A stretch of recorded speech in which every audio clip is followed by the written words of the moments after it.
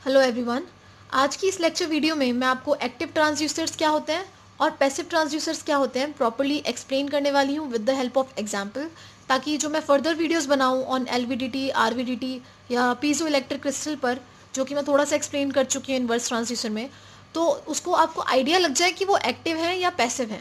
और ट्रांसड्यूसर मैं ऑलरेडी आपको बता चुकी हूँ इसकी डेफिनेशन की ये एक फॉर्म ऑफ़ एनर्जी को दूसरे फॉर्म ऑफ़ एनर्जी में कन्वर्ट करते हैं। So without wasting much time let's get started तो पहले मैं आपको एक्टिव ट्रांसड्यूसर्स बताती हूँ कि एक्टिव ट्रांसड्यूसर्स बेसिकली होते क्या हैं। एक्टिव ट्रांसड्यूसर्स वो ट्रांसड्यूसर्स होते हैं जिनमें कि कोई भी एडिशनल पावर सोर्स की रिक्वायरमेंट नहीं होती है आउटपुट को प्रोड्यूस करने के लिए।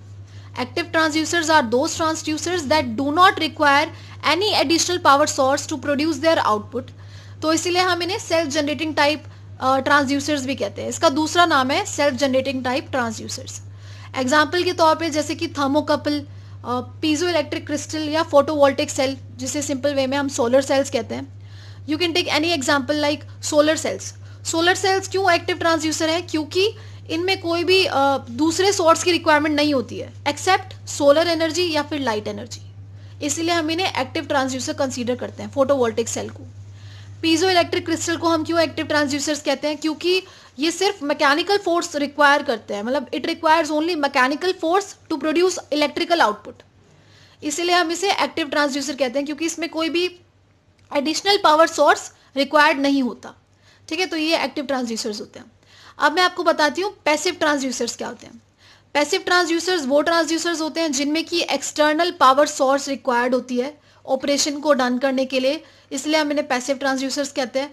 और ये प्रोड्यूस करते हैं आउटपुट सिग्नल को in the form of some variation variation के फॉर्म में प्रोड्यूस करते हैं ये आउटपुट सिग्नल को। और वो वेरिएशन किसमें होती है?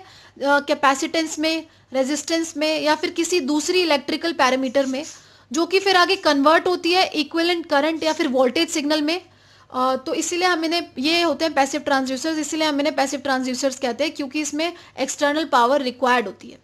एग्ज़ाम्पल के तौर पे सारे रेजिस्टिव इंडक्टिव या कैपेसिटिव ट्रांसड्यूसर्स जो होते हैं, वो पैसिव टाइप ट्रांसड्यूसर्स होते हैं। Basic example L V D T linear variable differential transformer वो एक पैसिव ट्रांसड्यूसर है। क्यों है? क्योंकि वो भी, उसमें भी एक्सटर्नल पावर सोर्स रिक्वायर्ड होती है और उसमें भी वेरिएशन जो है, वो कैपेसिटेंस में इंडक्टेंस में या दूसरे इलेक्ट्रिकल पैरामीटर्स में आते हैं।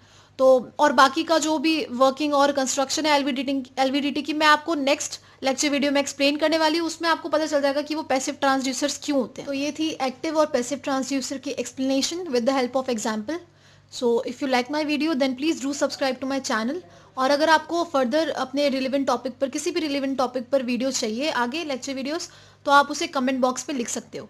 Thank you very much